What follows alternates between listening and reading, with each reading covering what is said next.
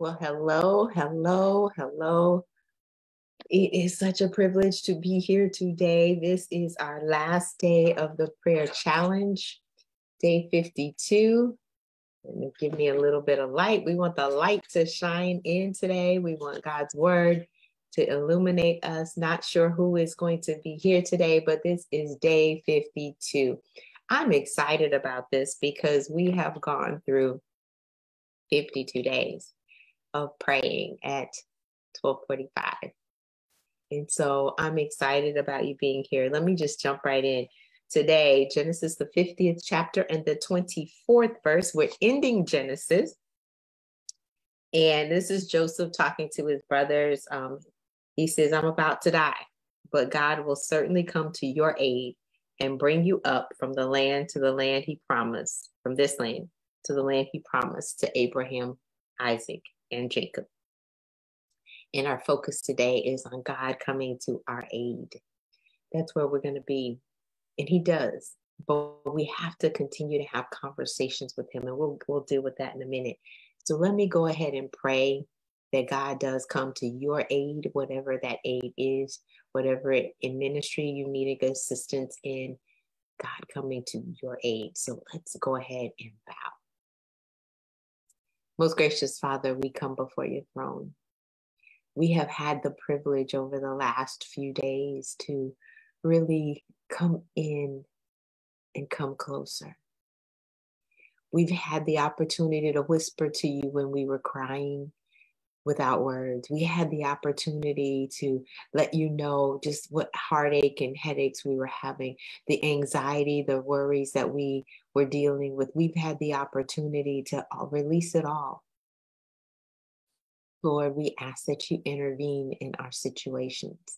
We prayed for sicknesses. We prayed for them to go away. We prayed for healing. We prayed for our children. We prayed for orphans. We prayed for other countries. We prayed for our leaders. God, we have prayed for our families and we have prayed for ourselves. We have come before you, Lord, asking that you step in. And we continue to ask you to step in. Thank you for allowing us the opportunity to, to lay on your couch and to find comfort, to pour out all our troubles because you are our great counselor. We've been able to bring it all before you because you sit high and you look low and you see from a different vantage point. And we recognize, Lord, where you sit allows you to see more. You know our end before the beginning. You know what steps we need to take, and we need your wisdom. We need you to sometimes show us, but at least direct us, guide us. And we're so grateful that you will do all of those things for us.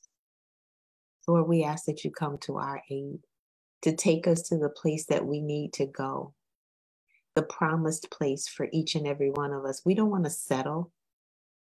We don't want to just survive. We want to thrive. We want to have the abundant life that you promised us. In 3 John 2, you said, Beloved, I wish above all things that you prosper and be in good health, even as your soul prospers. So, as our mind is renewed, God, help us to renew it so that we might be able to level up he said, Our mind, our will. Help us to align our will with yours. And our emotions help us to tame that emotional roller coaster and not just operate just from the seat of our pants, but Father, we want to operate based on your word. Direct us appropriately. We're going to be so careful, God, to give you all the glory because you so deserve it. We thank you that over the past weeks, we've had opportunity to develop our relationship with you even the more. And I pray for each and every person who listens to this, no matter when they do, that you will and they will sense the the need, the necessity for a deeper and a closer relationship with you, that they will be drawn in even the more, that they will pour out even the more, that they will receive, they will manifest, they will see the results, and they will identify all the answered prayers that you have done. And in so doing, that their faith will be increased, that their time with you will be increased, that the results to answered prayer will be increased, that they will pray more specifically and effectively, that it will be fervent prayers that avail much God, I pray for them that their relationship with you be taken to a, a, a higher level, a deeper level, that there will be an understanding like we're laying on a couch, but a friend's couch, talking with a friend that loves us more than we love ourselves. Because that's who you are.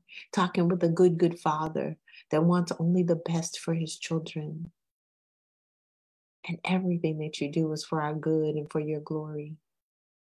That, that we would not lack anything, that we would not struggle or strain for anything, but that we would lean into your grace and your mercy. That we will lean in, God, because we know your goodness and your faithfulness are going to follow us. That we, would lean in, knowing that you're protecting us and providing, that you are our champion, leaning in, oh God we thank you for that. For your counsel is sure, it's comforting. And yes, sometimes you will move us out of our comfort zone, but God, we want to go to that promised land that you have for each one of us. We want the better on the other side of bitter. We want um, something different, the triumph on the other side of the trials. We want the testimony on the other side of the test. We want it all. God, and as we fight on our knees, we ask that you strengthen our hands and our feeble knees. Help us to fight in the right way. Because we don't wrestle against flesh and blood, but of principalities and powers and rulers of darkness and high places. God, we fight with you. We tell you because you care for us. We tell you all about it because we don't want to be anxious. We tell you so that we can have your peace. Thank you. Thank you for coming to our aid. We count it a privilege to be able to come to your throne, but we count it also a privilege to have you intervene in our lives for our loved ones, to intercede on our behalf, to intercede into our family members. God, just show us how we need to pray for others. Thank you for that. We're going to continue to lift your name on high and worship you, our sovereign Lord our King, our mighty God. It's in Jesus' this wonderful name that we do pray and give you thanks. Amen. Well, let me say this to you, um, beloved. I am so grateful for this time that we've had. And my prayer again is that your relationship with the Lord has increased. It's important for you to be on the couch, have that couch experience with Him but it's also important for you to be in community. And so I am going to be releasing today, probably changing just a little bit. I want you to be able to be notified when this new book is coming out, the prayer book. It's the, the Divinely Connected series praying through life struggles. And I know we pray through the book of Genesis. That's going to be in there as well. There will be some links. I'm going to put them, make them available on YouTube. So I'm going to drop that link again for you to subscribe to that channel. I'll see if I can do specifically the pray the prayer playlist that you will be able to do that. But I also want you to register um, to be notified when this book comes out. It it's gonna I'm gonna have a, uh, some free giveaway days, and I want you to be able to get it um, because you will find, I hope, no, my prayer is that you will recognize the beauty of being able to communicate with the creator of the entire universe, that you will see the necessity of being able to commune with him, asking for his wisdom and his intervention, and that the result is going to be that not only does your relationship be revolutionized in your prayer life, but your life is going to be at a whole different level, that you will get this promised land that we just prayed for. So I'm excited about that. So let me say this have a fantastic rest of your day. God bless, but make sure you look for the links that I do have um, in the comments so that you can partake of every single thing that is here. It has truly been my pleasure. Dr. Chonta Haynes with Heart to Heart Truth Ministries. I, you know, I help you put feet to your faith so that you can walk victoriously. And that today is on that prayer and making them effective. I want you to be fervent about it. I want you to recognize just how good it is, what a privilege it is, and also see the results coming from it. Have a fantastic rest of your day. God bless.